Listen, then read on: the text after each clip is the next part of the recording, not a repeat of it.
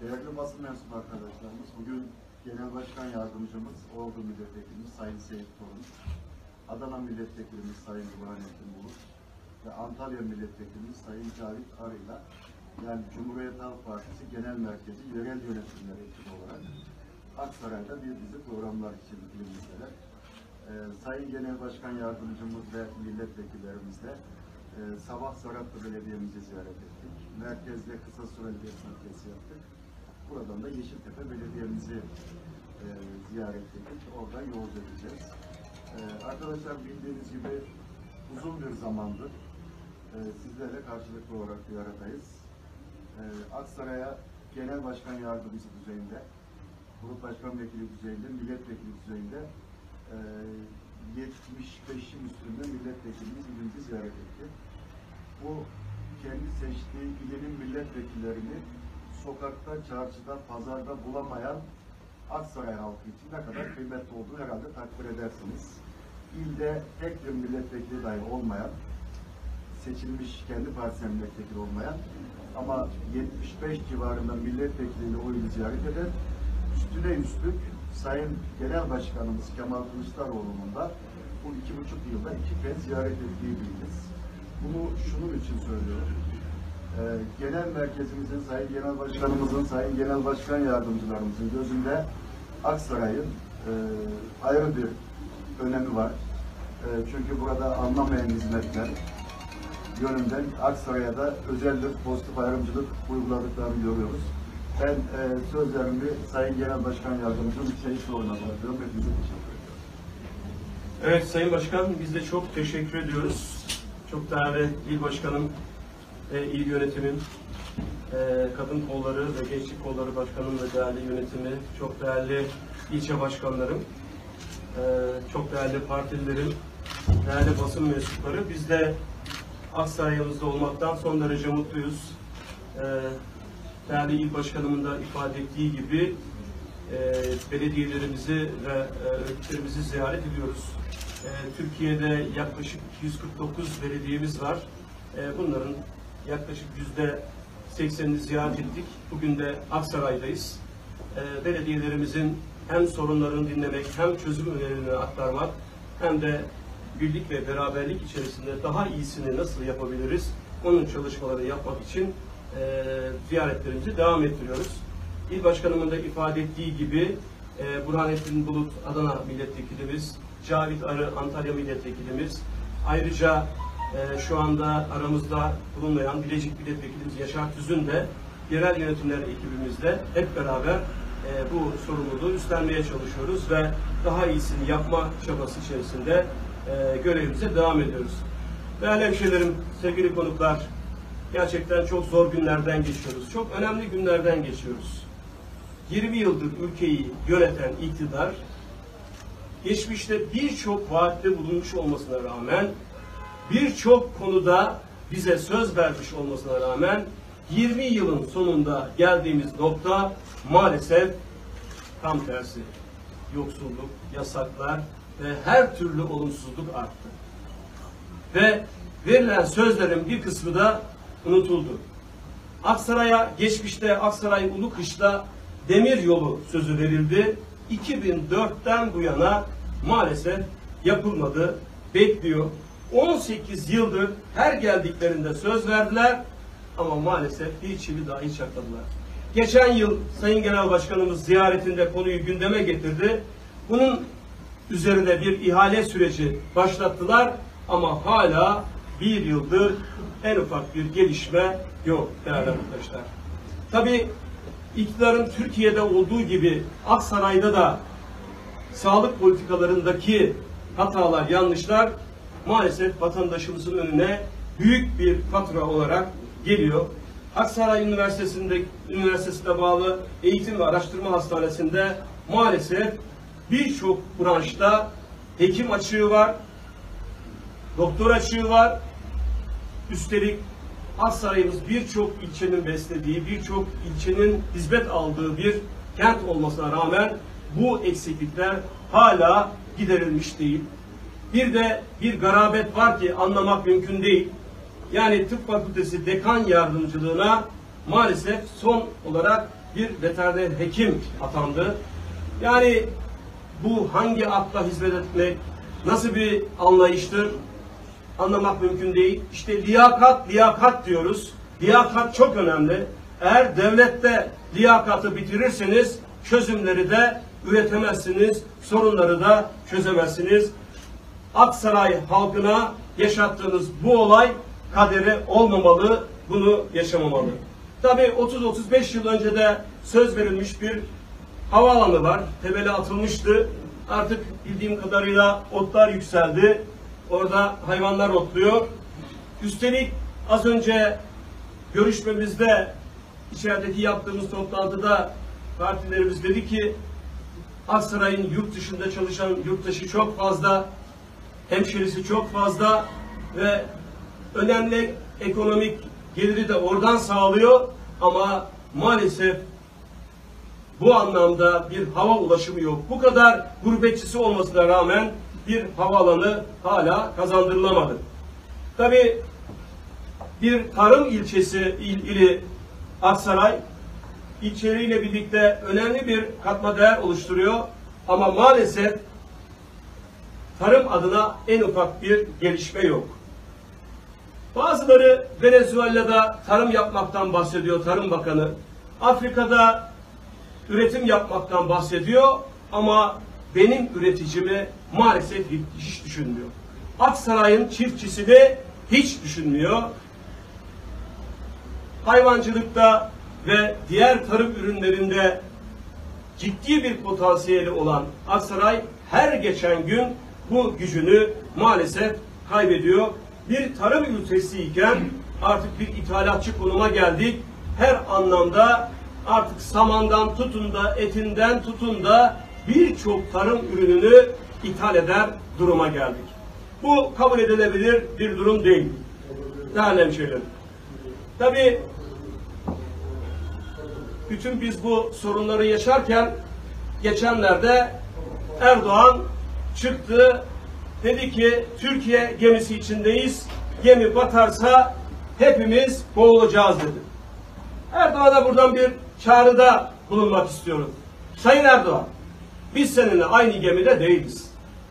Sen saltanat gemisindesin ama biz bandırma vapurundayız. Sen o saltanat gemisinde yandaşlarınla zevk sefa içinde yaşarken, bolluk içinde yaşarken biz bandırma vapurunda yoksul halkımızın ve her geçen gün sorunları büyüyen halkımızın çözümlerini üretmek için mücadele ediyoruz. Biz siz saltanat gemisinin de zevk sefa içinde yaşarken halkın gemisini, halkın vapurunu batırmaya çalışıyorsunuz. Yüz yıl önce olduğu gibi o saltanat gemisi batacak ama bandırma vapuru kazanacak, halkın vapuru kazanacak. Bundan emin olun. Tabi geçtiğimiz günlerde de bir ifade kullandı. İşte TL'ye güvenin, dövize yatırım yapmayın diyor. Yani hangi akla hizmet ederek bu cümleyi kuruyorsun anlamak mümkün değil. Köprüyü dövizle vereceksin müteahhite. Efendim yolu dövizle vereceksin. Ondan sonra vatandaşa diyeceksin ki TL'ye güvenin. E sen niye güvenmiyorsun? O ihaleyi verirken niye döviz üzerinden veriyorsun? Bu vatandaşın aklıyla alay etmektir. Bakın 2022 bütçesinden sadece karayollarının geçiş garantilerine ayrılan para 27 milyar lira. Bu sizin hepimizin parası değerli arkadaşlar. O köprülerden, o yollardan geçmediğimiz halde cebimizden çıkan para bunlar. Ki bu ayrılan para, o para daha da artacağı kesin. Böyle bir ikircikli anlayış, böyle bir hastalıklı anlayışı kabul etmemiz mümkün değil. Bir de faizi yüzde on üçe düşürdük diye milleti kandırmaya çalışıyorlar. Ya kimi kandırıyorsunuz? Yani bankalara yüzde on üçten vereceksiniz. O bankalar vatandaşa yüzde otuzdan kırktan vereceksiniz. Ondan sonra faizi düşürdük diyeceksiniz. Ya düşen vatandaşın faizi değil ki. Bankaların faizi. Böyle olmamış olsaydı yüzde dört yüz kar açıklarlar mıydı? Yüzde dört yüz kazandık derler miydi? Ama maalesef vatandaşı faiz boyunduruğu altında yaşatırken birileri kazançlarını her gün artırıyor. Ve vatandaşın artık icra dosyaları icra dairelerine sığmaz halde. Son bir yılda bir buçuk milyon arttı değerli arkadaşlar icra dosyası. Ve 24 milyonu geçti.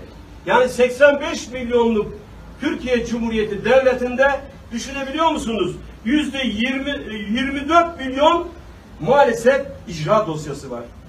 Yani kredi kartı borç takibine düşen kişi sayısı 4 milyon 100 bin kişi olmuş. Türkiye'nin 20 yıl sonunda geldiği nokta bu arkadaşlar.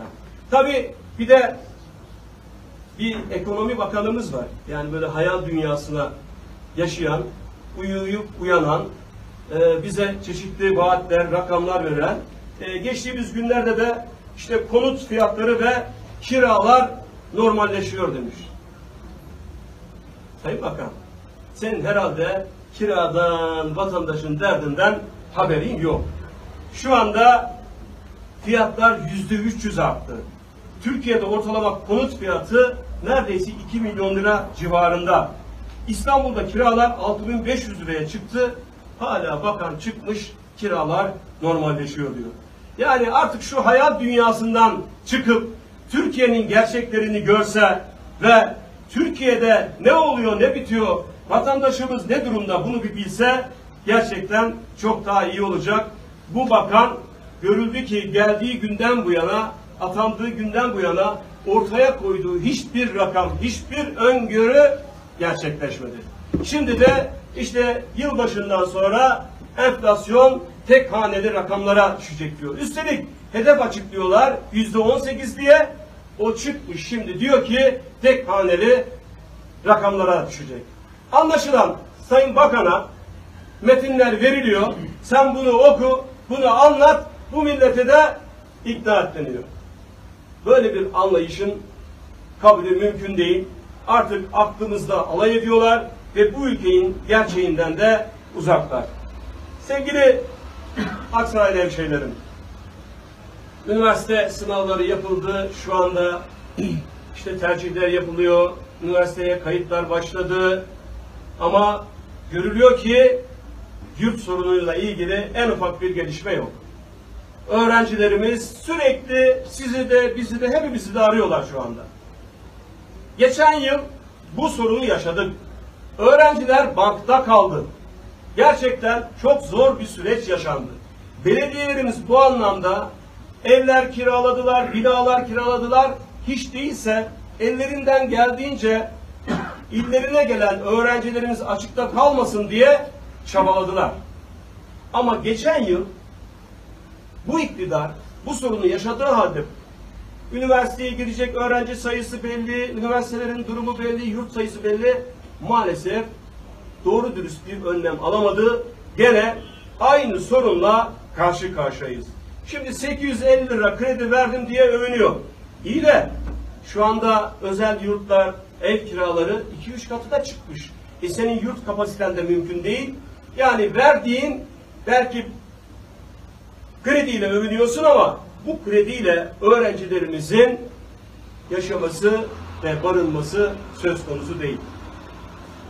Değerli hemşehrilerim, 2019'dan bu yana belediyelerimiz bu soruna çözüm bulabilmek için yurt sayısını 22'den 83'e kapasitesini de 3 binlerden 15 binlere çıkardı. Yani yaklaşık 4 kat artırdı. Gene imkanları ölçüsünde de bu yıl öğrencilerimizin açıkta kalmaması için barınma sorununa mutlaka ellerinden geldiğince de katkıda bulunacaklar.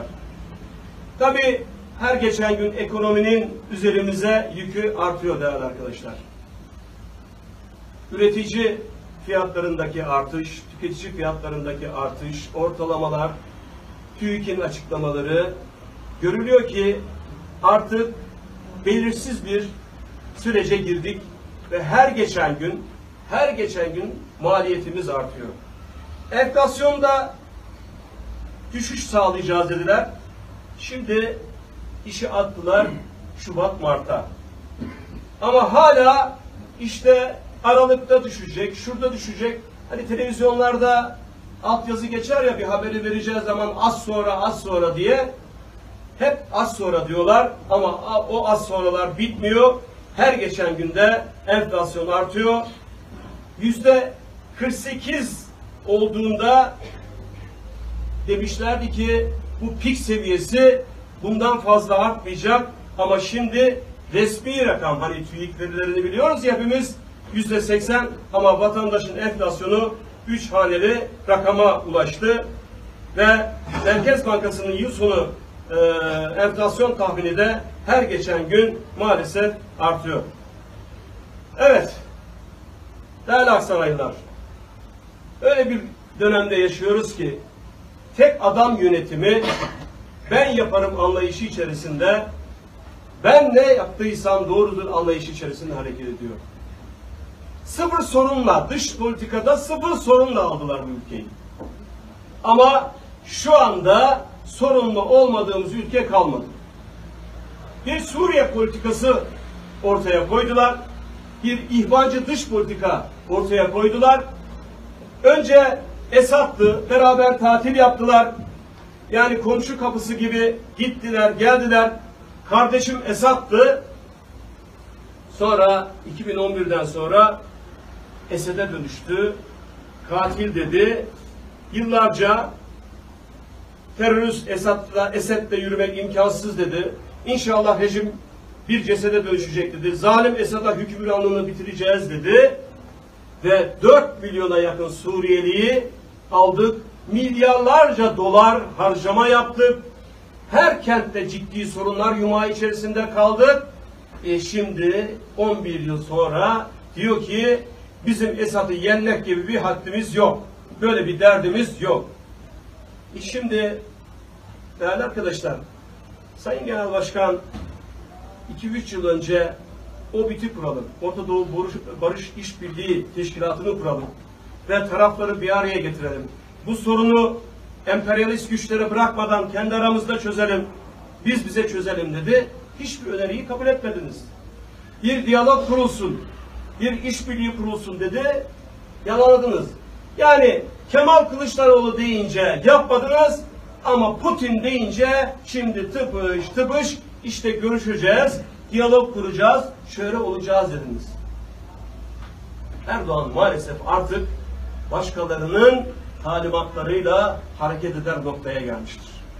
Bu ülkemiz içinde gerçekten üzücü bir durum. Ve göreceksiniz önümüzdeki günlerde o geçmişte söylediği iddiaları, hakaretleri, her şeyi bir yana bırakacak. Sanki hiçbir şey olmamış gibi hareket edecek. Ama değerli arkadaşlar, faturayı kim ödüyor? Faturayı biz ödüyoruz. 100 milyar dolara yakın Suriyelilere harcama yapıldı. Kimden çıktı bu para? Senden çıktı, benden çıktı, bizden çıktı. Yani sen bir karar alacaksın ama bu karar senin keyfi kararından dolayı bu ülke insanı bedel ödeyecek. Bunu kabul etmemiz mümkün değil değerli arkadaşlar. Tabi yaz dönemi Allah hiçbir zaman vermesin. İnşallah bu seneyi kazasız belasız atlatırız. Yangınlar olmadan, seller olmadan, inşallah deprem olmadan atlatırız. Ama bir anlayış var ki arkadaşlar yıllardır bizi ayrıştırıyor. Kendisinden olmayanları maalesef ama maalesef ötekileştiriyor ve dışlıyor. Şimdi geçen yıl biliyorsunuz canımız yandı her birimizin ciddi yangınlarla karşı karşıya kaldık. Tuttu bu yangınlarla ilgili Antalya ve Muğla'da yangınlar oldu. Belediyeleriniz ne yaptı diye söylemiş. Ya Allah'tan kork Erdoğan. Sonuçta orman yangınlarını söndürmek Orman Genel Müdürlüğü'nün yetkisinde. Eğer bir yerleşim alanına gelirse elbette ki belediye gerekeni yapar. Ama orman olmasına rağmen gece gündüz can siparhane belediyelerimiz müdahale etti. Her türlü imkanlarıyla uçakta kiraladı, helikopterde kiraladı, bütün kapasitesinin üstüne çıktı ve o e, yangınları söndürmek için de mücadele etti. Hiç değilse emeğe saygın olsun. O insanların alın terine saygın olsun. Çabasına saygın olsun. Bunun üzerinden siyaset yaparak ayrıştırma. bunun üzerinden siyaset yaparak bölme. Bu ülkede yaşayan 84 milyon sonuçta seni Cumhurbaşkanı olarak biliyor. Ama sen maalesef o görevi istismar ederek ayrıştırıyorsun, ötekileştiriyorsun. Bunu da kabul etmemiz mümkün değil. Değerli Aksaraylılar, sevgili dostlar, değerli yol arkadaşlarım, değerli basın mensupları. Bu yaşadığımız süreç bizim kaderimiz değil. Türkiye'nin sorunları çözülebilir. Tek sorun bu iktidarın yanlış tercihler kullanmasında, kaynaklarını yanlış değerlendirmesinde ve bire mal olacak işi beş liraya mal etmesinde. Biz sana hastaneyi niye yaptın diye sormuyoruz. Biz diyoruz ki kaça yaptın, kaç yıllığına verdin diye soruyoruz. Hemen çıkıyor diyor ki bunlar hastaneye karşı. Biz diyoruz ki bu yolu kaça yaptın, bu köprüyü kaça yaptın, kaç yılına verdin? Diyoruz. Bunlar diyor yola karşı köprüye karşı. Hayır. Biz bu milletin ödediği vergilerin nereye harcandığını soruyoruz. Biz bu milletin hakkını arıyoruz. Tüyü bitmemiz yetimin hakkını arıyoruz biz. Ama bunu söylediğimizde ya terörist oluyoruz, ya dış güçlerin adam oluyoruz ya da farklı bir şekilde ithamlarla karşı karşıya kalıyoruz. Ne olursa olsun peşini bırakmayacağız. İnşallah gelecek süreçte yapılacak ilk seçimde iktidar olacağız ve bu ülkenin parasını peşkeş çeken, tüyü bitmemiş yetimin hakkını yiyen ve sarayın o beslemelerine, beşli çetelerine de hesabını soracağız. Bu milletten aldıklarını bu millete tekrar iade edeceğiz. Hiç kimse zannetmesin ki yaptım yanıma kaldı, yurt dışına kaçırdım, şuraya yaptım, buraya yaptım. Onların hepsi mutlaka bu ülkenin hakkı bu ülkeye teslim edilecek. Bundan da emin olun değerli hemşehrilerim. Tabii çok çalışmamız lazım. Az önce il başkanım söyledi. Sürekli illerdeyiz. Sürekli vatandaşlarımızla beraberiz. Batısından, doğusundan, güneyinden, kuzeyinden her yerdeyiz. Ve vatandaşımızın dertlerini dinliyoruz. Çözüm önerilerimizi aktarıyoruz. Çözümlerin de mümkün olduğunu ifade ediyoruz. Ama birileri anladığım kadarıyla Sayın Başkan iline gelemiyor. Çünkü onlar ihale peşinde. Onlar rant peşinde. Diyor gider ayak acaba ben neyi götürürüm, nasıl götürürüm? Onun çabası içerisinde. Aksaraylı'nın oyunu alarak Türkiye Büyük Millet Meclisi'ne gideceksin. Mecliste doğru düz hiçbir oturuma katılmayacaksın. Ne Aksaray sokağında varsın, ne Türkiye Büyük Millet Meclisi'nde varsın. Yoklamalarına bakın orada da yok. O zaman eminim ki eminim ki Aksaray'da hemşehrilerimiz de bu durumu bu durumu değerlendirecek. Halkın iradesini alarak halkın hakkını yiyenden biz de hesap soracağız. İnanıyorum ki Allah da hesap soracak. Hiçbir endişeniz olmasın. Ve bu milletin sadece milletin iradesi üzerinden zenginleşenler mutlaka bunun da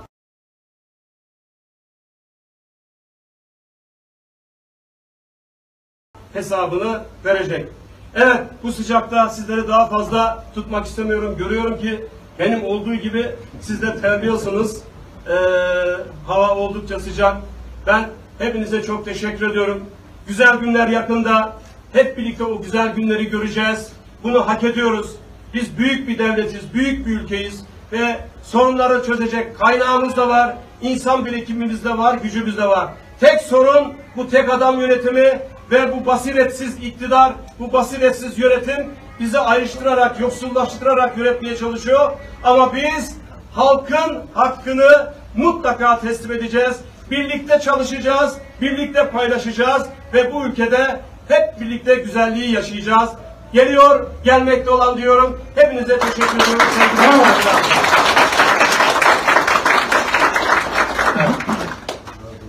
Teşekkür ederiz. Üstüne üstlük e, yaptıkları çalışmalarda da e, çok da vatandaşın sesine uygun indirimler yapılmıyor. Tedarikçiler de mal vermiyor. bu ölçüde. E, geçen sene 248 milyon lira zarar etmiş. E, sadece e, bu zarar yönetme reklam ayrılan para hariç. E, bu konuyla ilgili ne söyleyeceksiniz? Tarım kredi kooperatifinin asıl amacı üreticiyi, çiftçiyi desteklemek, desteklemek değil mi? Adamın başında ne var? Tarım. Evet. Peki tarıma hiçbir faydası var mı? Bir üreticiye gübre desteği veriyor mu? Bir de ürün de yok.